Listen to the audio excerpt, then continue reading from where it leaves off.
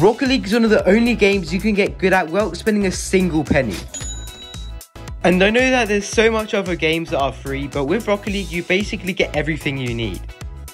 Such as cars, toppers, boosts, and even going as far as free cheat codes. But then why does the item shop exist? Is Rocket League pay to win? Well, you'll find out soon. I'll be straightforward, yes. Let me ask you a question.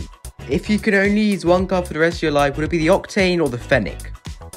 If you picked any, then you are correct. It doesn't matter what you chose because they're the exact same.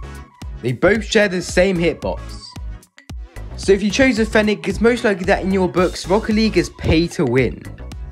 But in mine, it's not pay to win because I chose the Octane. So is it pay to win or not? Well, we still don't know yet. Here's why. If you bought something out of the shop, it wouldn't give you an advantage. Unlike Call of Duty Warzone. When you purchase weapons, it gives you an advantage if the opponents haven't already got a better weapon than you. And obviously, for those weapons, you have to spend money. So is Rocket League pay to win? No, but the argument doesn't stop there. By now, think will realise that Rocket League is kinda confusing. It's only pay to win to some people. These cards all have the same hitbox. This is from the item shop, this is from the Rocket Pass, and you get this for free.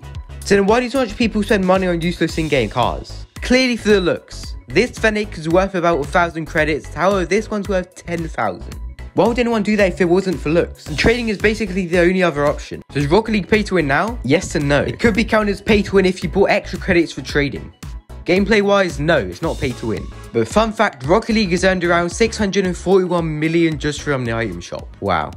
So in conclusion, Rocket League is mostly not pay to win.